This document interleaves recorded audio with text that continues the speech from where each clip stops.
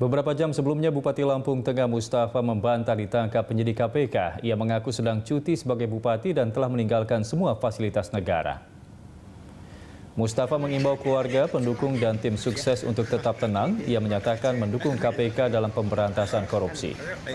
Ia juga menjelaskan soal persetujuan DPRD untuk peminjaman dana sudah diserahkan DPRD dalam paripurna, di mana ia walk out saat paripurna pembahasan tersebut.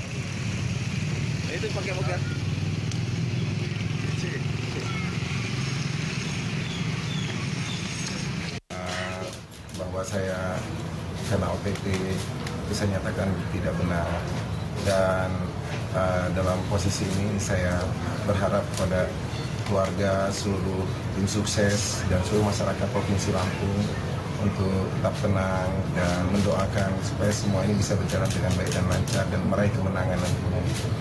Yang kedua tentunya saya mendukung upaya-upaya KPK dalam rangka penegakan hukum di uh, Indonesia khususnya di provinsi Lampung. Tentu uh, diper, apabila diperlukan, saya tentunya siap uh, untuk menghadap dan siap memberikan uh, apa namanya data-data yang saya tahu tentunya tentang uh, Kabupaten Lampung Tengah. Tentu inilah yang menjadi ungkapan perasaan saya.